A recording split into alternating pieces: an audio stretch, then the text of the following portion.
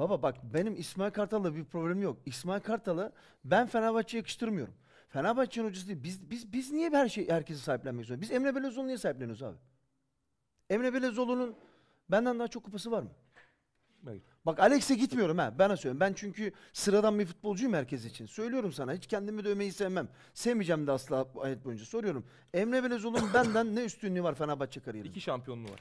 He? İki şampiyonluğu var. Ve 3 şampiyonluğum var. Benden fazla gol mü attı? Benden fazla kar- katkı mı sağladı? Benden fazla şey mi attı?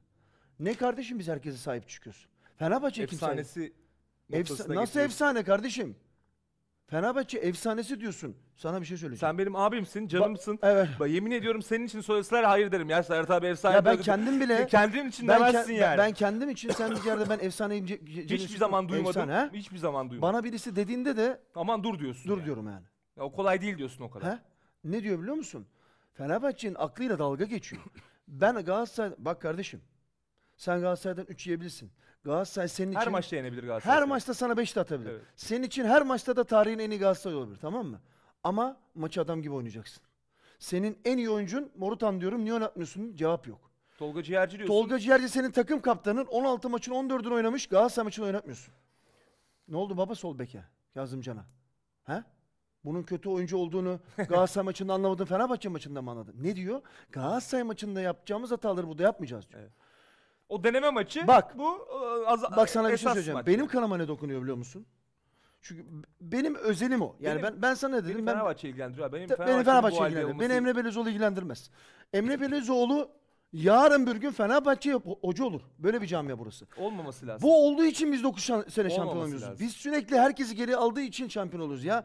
Halen çıkmış senin kulüp başkanın diyor ki 2 nokta bilmem ne ortalaması var diyor. Ya kardeşim başkanım sen hepimizden matematiği yüksek olan en pahalı en zengin okullarda, Okullarda okumuşsun. okumuş bir Doğru mu? tabii. Acaba İsmail Kartal'ın Fenerbahçe'de Fenerbahçe forma altında oyuncu kalitesinin yüksek olduğu için Ortalamanın yüksek ortalamanın olması- yükselmesi acaba normal olabilir mi sence? Mesela Ankara gücünde daha düşük, Sivas'ta Sivas'ta daha daha, düşük. düşük. olabilir mi? Hiç böyle bir şey düşündün mü? Buradan bakabildin mi? Veya senin sportif direktörün sen hiç anlamıyorsun. Yanı, yanındakiler hiç anlamıyor. Ama at, Allah sana artık son senende kalırsın kalmazsın beni ilgilendirmiyor ki. Bu saatten sonra kalırsa da zaten bir şey konuşmak yok. Program da yapmayalım. Çünkü ben bu kadar ruhsuz, bak bu kadar ruhsuz. Ruhsuz. Doğru kelime ruhsuzluk. Baba bak Ya bu maçı böyle oynayamazsınız ya. Bonucci 90 artıda bir top bırakıyor arkasına. Adam boş vermiş. La arkasına Ankara gücülü oyuncu var. Offside offside'ı boş ver. Ben hayatımda ya Serdar Aziz, Serdar Aziz'le bu takımda oynuyorsun. ne işi var? Niye Bu Mert maçı nasıl Hakan bu bu kadar maçta ciddi- dinleniyor? Niye ciddi olduğunu ya? sana söyleyeyim. mi? Oynatacak Mert- çünkü. Evet çünkü o ilk 11 Evet, oyuncusu oldu. evet, Mert Hakan evet. bir maçta bir frikikle İlk 11 oyuncusu oldu. bana bana yazdılar ya. Evet. Mert o yüzden Hakan'dan dinleniyor. Mert Hakan'dan özür dileyin dediler. Böyle bir camiyeyiz Evet, biz. Öyle dinleniyor. Birbirine çarptırıyoruz Şimanski birbirimizi. diye bir oyuncu kalmadı, Kalmadı. bitti. Bitti Şimanski. Adamı ben sana bir şey söyleyeyim mi? Şimanski'ye kim verecek 20 milyon ya? Hiç kimse vermez bu He? saatten sonra bu Bunu ama. İsmail Kartal yaptı. Ama ben bunu biliyordum ve kim daha biliyordu biliyor musun? Branko da biliyordu. Branko başkanın kafasını ütüleye ütüleye ütüleye öte dedi ki bak bu adamla bir şampiyon olamayız. Bu adam oyuncuları oyuncuları yıldırdı. Bu adam futboldan anlamıyor ya. Siz ne siz neyi anlamıyorsunuz? Biz Fenerbahçe olarak neyi görmek istemiyoruz abi? Biz niye kendi inanmadığımız ve başarısız bir şey biz niye da, da- bu davaya sahip çıkıyoruz? Biz hasta mıyız ya? Bizde bir psikolojik rahatsızlık var. Gidip hep beraber toplu tedavi görelim. Şimdi diyorum ki sana ben başarısızım. Ya sen bana niye sahipleniyorsun? Başarısızım ben kardeşim. Benim zaten istatistiğim ortada. Benim hiçbir tane bir başarım yok. Ben niye ben niye sahipliyorsun o zaman beni sen? Emre Belezoğlu. Ya sen Fenerbahçe'yi tabii ki yeneceksin. Sen Galatasaray'da yenmek için oynayacaksın. Mutlaka. Ama aynı karakterde oynayacaksın. Galatasaray'a gelince yumuşak orta saha. Torreira'nın yok. Tolga'yla Morutsan'ı oynatma. Ben şu an bir şey Mor- gördüm. Bugün maçın oyunu Morutsan mı? Uzak ara Morussan. Niye oynatmıyorsun kardeşim? şey gördüm. Bunu açıklasın bana. Bir şey gördüm. Ha, neyi? Şu an önümde video. Veremiyoruz tabii yayıncı kuruluş olduğu için. Fenerbahçe deplasman tribünü Emre Belezoğlu aleyhine bir tezahüratta bulunmuş Tamam. maçın son. Tamam. Ya öyle bir nefret suratı var ki Emre Evet. Belezoğlu'nun tribüne doğru böyle kafa sallayarak. Tamam. Nefret ediyor Fenerbahçe. Niye olduğunu, öyle sa- bakıyor niye yani. olduğunu sana söyleyeyim mi? Çünkü Galatasaraylı. Siz neyi anlamıyorsunuz ya? Siz niye herkese Fenerbahçeli yapıyorsunuz? Bana, sana bir şey söyleyeceğim ben. Bir şey söyleyeceğim ve sana bunu kimse söylememiştir hayatım boyunca. Ben sana söyleyeceğim ilk. Fenerbahçe'den Galatasaray'a, Galatasaray'dan Fenerbahçe önce gitmiştir. Çok değil mi? Tabii canım tarihte çok gitti. Maybe o, maybe o, Tanju Çolak. Selçuk'la bile Galatasaray'da oynamıştır. Doğru mudur? Evet, Şimdi sana soruyorum. rahmetli.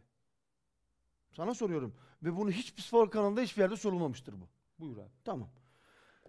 Galatasaray'dan Fenerbahçe'ye giden Tamam. bir tane futbolcuyu aynı sezon içinde kaptan, hoca, sportif direktör, kulüp başkanı, sportif direktör her şey bir, bir tanesini bir tane söyle bana. Fener'den Galatasaray'a giden diyorsun. Evet. Tam tersinde. Yok Galatasaray'dan Fener'e giden diyorum ya. Niye Fener'den Galatasaray'a giden? Galatasaray Emre Belezoğlu.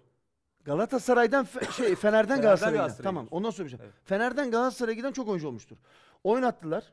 Tamam mı? Ama kulübün içinde barındırdıkları bir tanesini söylesene. Bir tane söyle ya bir tane sahip çıktıkları ve onu bir yetkili bir şeye yaptıkları veya işte bir yere hoca yaptıkları ve bir tane söyle.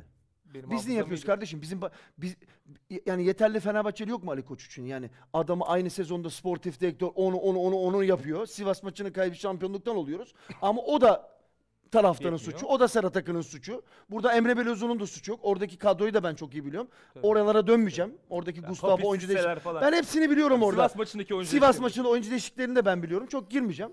Bak maç kazanırsın maç kaybedersin. Tamam mı? Adalet terazin düzgünse hiçbir problem yok.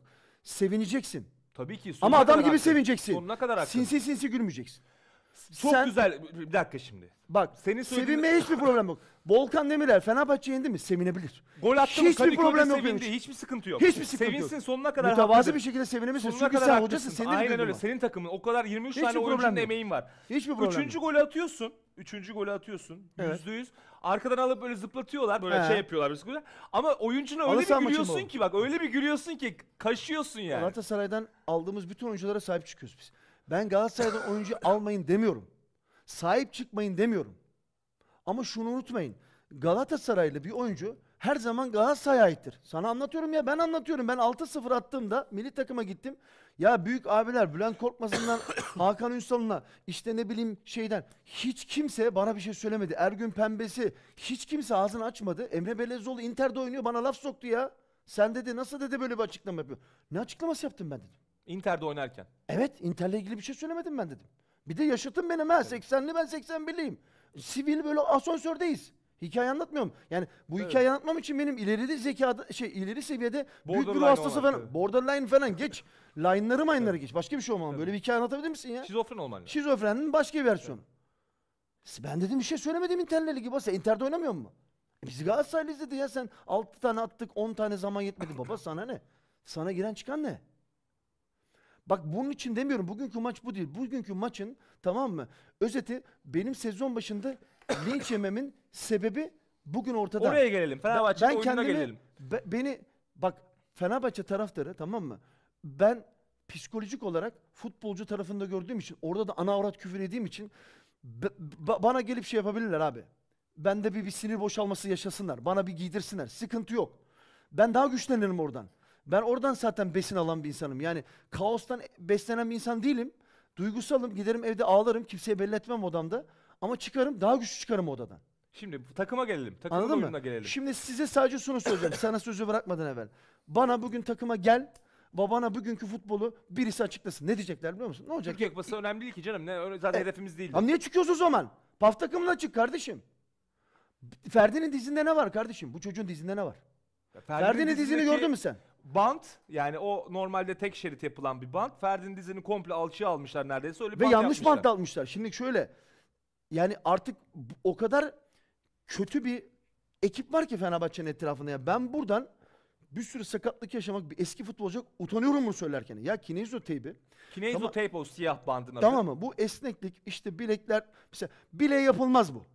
Tabii. Çünkü bileğe teyp yapılır. Stabil tutsun diye, bilek dönmesin diye. Kinezo tamam mı? tape esnek Kinezo esneklik. Mesela arka derinde sıkı mesela bir Renkli var. bantlardan bahsediyoruz. Tamam mı? Renkli, siyah, evet. mavisi var bunun. Bu desteklemek için. Yani oradaki adaleyi tamamen yüzde yüz zorlamamak için işte atıyorum kapasitesini yüzde sekseni düşürmek Düşürüyor. için. 70'e Tamam. düşürüp Şimdi oynatıyor. bunun kinezoteple bir kere alçı yapmışlar.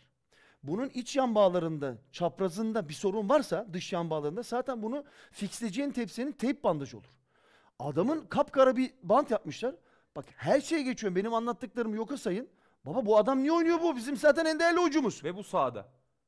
Ya bu adam Mert Hakan'dan, Serdar Dursun'dan ne zaman daha de- değersiz oldu? Sen bunları bir maçta adam ettiğinde bunlar hepsi senin Seni için buraya de- getiren oyuncular getiren oyuncular. Ferdi bizim her şeyimiz değil miydi? Şimanski Hocam bu takımın her şeyi değil miydi? yani burada Ferdi'yi biz öldüreceğiz mi? O dize yükleneceğiz mi bu maçta? Bu maç o maç mı? Çünkü skor 2-0. He? Çünkü skor 2-0. Hoca biliyor ki skor kötüyse ben de kötüyüm. Şimdi Ama bana şunu görmüyor hoca. Oyun kötü. Oyun Fenerbahçe'nin her geçen gün kötüye gidiyor. Fenerbahçe'nin oyunu her geçen gün geriye gidiyor. söylüyoruz Ama bunu söyleyince de biz lideriz. Biz psikolojik Evet. üstünlük bizde. O bizde bu bizde diyorsun hocam. nerede psikolojik üst- üstünlük nerede? Soruyorum. Fenerbahçe lider mi? Değil. Psikolojik üstünlük bizde mi? Türkiye Kupası elendi mi? Elendi mi? Elendi. E tamam ne istiyoruz? Allah'tan belamızı mı istiyoruz?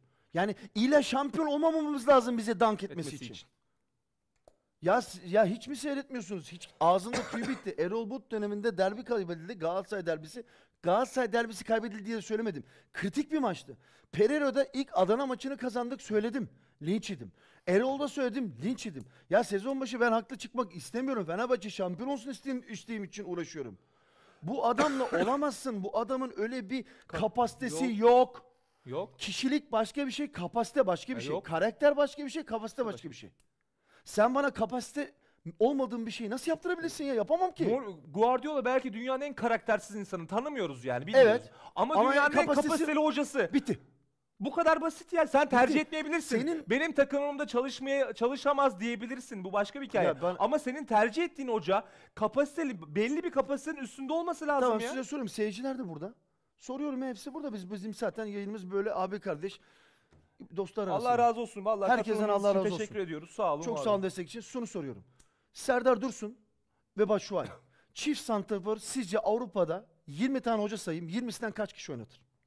Yani plan Veya sizce. Me- İsmail Kartal 4-4-2'ye döndüğünde hiçbir şeye fayda olmadığını ve takımın daha kötü gittiğinde asıl problem o zaman başladığını sizce ne zaman anlayacak? Ne zaman anlar Orta sahayı bıraktığı için. E, Bir kere işe yaradı. Rize deplasmanında sahada balçık vardı, çamur. Zaten bir oyun yoktu ortada. Çift santrafor orada işe yaradı. Baba tweet atıyorum. Onun dışında hiçbir Berkaycığım, yerde yaramadı. tweet atıyorum. Diyorum ki 3'ü yememek için Jadon Osterwelde'ye atıyor, e, oyun alıyor diyorum. Ne diyorlar biliyor musun? Söyleyeyim ki konuşalım bunları. Bunları konuşamazsak çözemeyiz. Belki de ben haksızımdır. Bana söyleyin ben kendimi düzelteyim.